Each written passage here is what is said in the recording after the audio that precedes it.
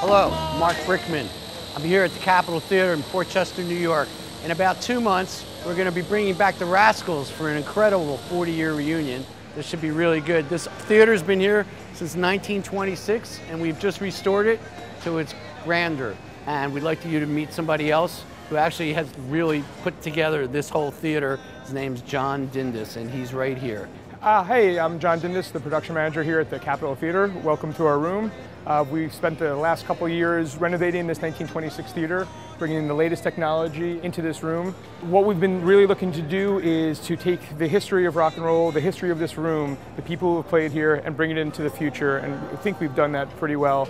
And we're very excited to continue the tradition of this room in December with the uh, the Rascals and the show that uh, that Little Steven and Marc Brickman are putting together. It should be an amazing couple of weeks. So when the Rascals come here, we're going to have an incredibly new show a show that will break all ways of doing production. People have, things people haven't seen before, and we're still preparing it. And just as Steven told you in the pitch, the more everyone pledges and gets behind us, the bigger the production can be, the more detailed it can be, which will be great. And obviously them playing is, is, is a thrill in itself. But being able to then recreate the 60s with all our video and and, uh, and light show and, and projections, the more content we could have, we'll really be able to tell the story.